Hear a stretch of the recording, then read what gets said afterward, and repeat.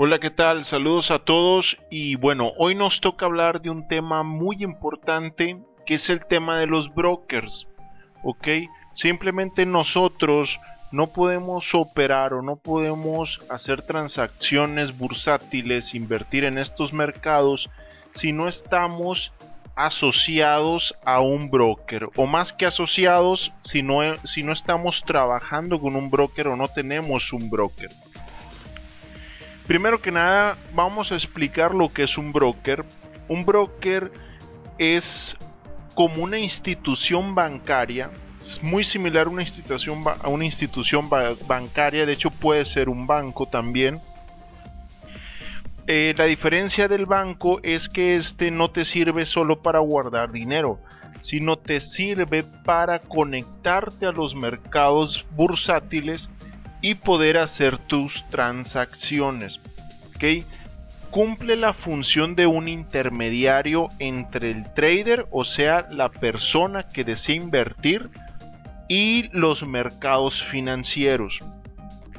Entonces, es necesario que todas las personas que quieran invertir eh, tengan ya un broker. Eh, de eso vamos a hablar un poco hoy y vamos a profundizar más cuando ustedes decidan abrir una cuenta. Profundizamos más en este tema.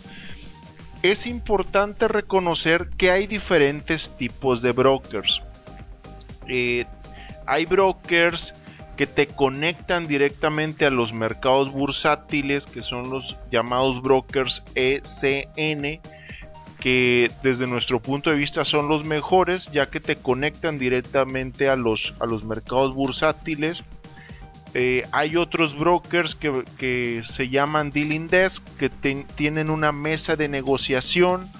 Hay unos eh, brokers que no te conectan a los mercados reales, sino que ellos mismos tienen una plataforma para invertir que es como, como una especie de, dealing desk, es eso, o market maker les llaman.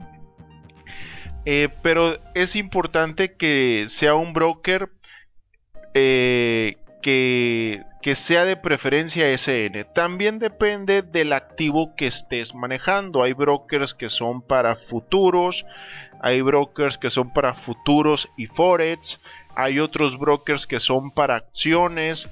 Depende de lo que tú estés invirtiendo o quieras invertir, puedes elegir el diferente, los diferentes tipos de brokers.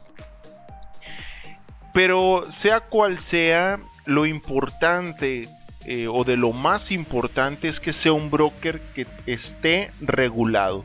Es decir, que hay una institución detrás de ellos que los regule, que los observe y en caso de que cometan algo que no sea ético o permitido, sean castigados. Es bien importante esto porque actualmente en los mercados bursátiles, en, este mundo de las inversiones, nos podemos encontrar desgraciadamente con estafas y muchas de estas surgen eh, debido a brokers que no están regulados hay diferentes tipos de regulaciones.